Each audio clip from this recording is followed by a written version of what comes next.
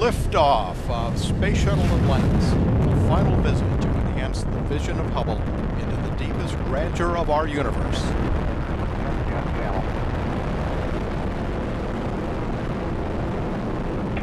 Bypass across the board, Scooter, no action.